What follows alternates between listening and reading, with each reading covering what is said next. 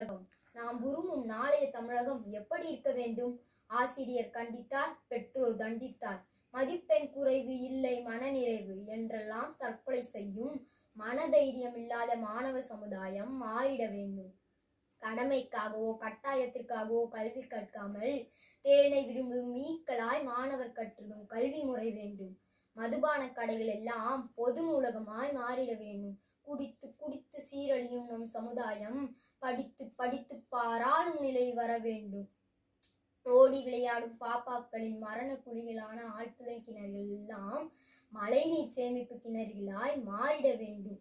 ஆறு நதி குளம் போன்ற நீர்நிலைகளின் ஆக்கிரமிப்புகள் அகற்றப்பட்டு தண்ணீர் பஞ்சமோ வெள்ள பாதிப்போ இல்லாத தமிழகம் வேண்டும். சூரிய ஒளி மின்சாரம் மழைநீர் சேகரிப்பு மற்றும் கழிவு நீரை மறுசுழற்சி செய்யும் கட்டமைப்புகளுடன் கூடிய வீடுகள் வேண்டும். விவச விவசாயிகளின் போராட்டங்கள் தற்கொலை என்ற நிலை மாறிட வேண்டும். விவசாயத்தில் மகசூலை பெருக்கும் தொழில்நுட்ப கருவிகள் வேண்டும்.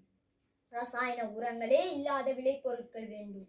தற்சார்பு பொருளாதாரம் கொண்ட தமிழகம் வேண்டும். செல்போனால் தலை நிமிர்ந்து வாழாமல் தலை நிமிர்ந்து வாழும் இளைய சமுதாயம் வேண்டும்.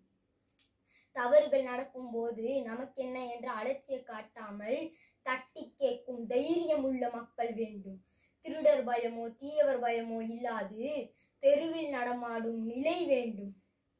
பெண்களுக்கு எதிரான குற்றங்கள் இல்லை என்றும் நிலை வேண்டும். விபத்தில் அடிப்பட்டவருடன் செல்ஃபி எடுக்காமல் முதலுதவி செய்யும் மக்கள் வேண்டும். இறந்து போன உடலுக்கும் மருத்துவம் பார்த்து பணம் சம்பாதிக்கும் மருத்துவர்கள் இல்லாத தமிழகம் வேண்டும். லஞ்சம் வாங்காத அதிகாரிகளும் ஊழல் செய்யாத தலைவர்களும் நிறைந்த ஆட்சி அமைப்பு வேண்டும். தரமான கல்வி மருத்துவம் குடிநீர். அனைவருக்கும் கிடைக்க வேண்டும்.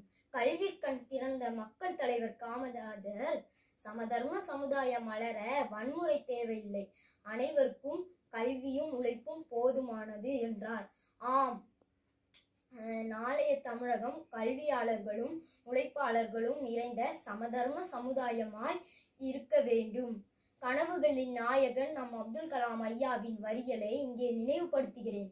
கனவு காணுங்கள். ஒரு முறை வந்தால் அது கனவு இருமுறை வந்தால் அது ஆசை பலமுறை வந்தால் அது லட்சியம். ஆம் நாம் காணும்போது அது கனவானது இன்று உங்களிடம் சொல்லும்போது அது ஆசையாகிறது. நாம் எல்லோரும் ஆசைப்படும் போது அது லட்சியமாகிறது. நமக்கென்ன என்று அலட்சியப்படுத்தாமல் ஆசைப்படுவோம் லட்சியமாக்குவோம். நாளைய தமிழகம் நம் கையிலே.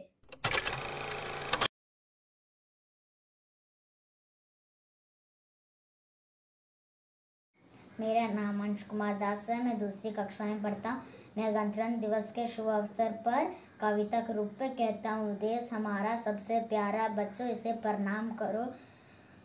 हिंदू, मुस्लिम, सिख, ईसाई, साथ यहाँ सब रहते हैं। सुख दुख जो भी इनको मिलते, सारे मिलकर सहते हैं। सबने मिलकर ठान लिया है। भारत का यशमान मान करो।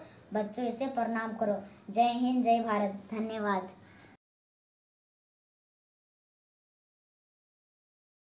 नमस्ते, मेरा नाम तरुण है। मैं आठवीं कक्षा में पढ़ता हूँ। आज मैं आपको गणतंत्र दिवस के बारे में कुछ बोलना चाहता हूँ।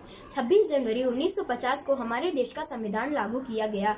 इसमें भारत को गणतांत्रिक व्यवस्था वाला राष्ट्र बनाने की राह तैयार की गई। इस वजह से हर वर्ष 26 जनवरी को भारत के गणतांत्रिक राष्ट्र, रिपब्लिक नेशनल इंडिया, बनने के उपलक्ष्य में इस दिन को गणतंत्र दिवस के रूप में मनाया जाता है।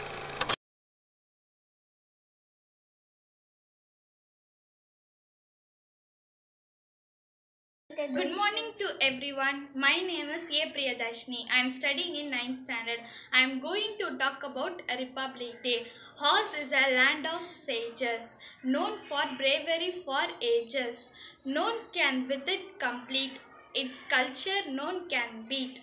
Whatever caste or religion, all live here in unison. With rivers, sweet fountains, it's a land of high mountains. Its green forests are pretty and are source of prosperity. Let's for it work hard for its safety be on God. Thank you.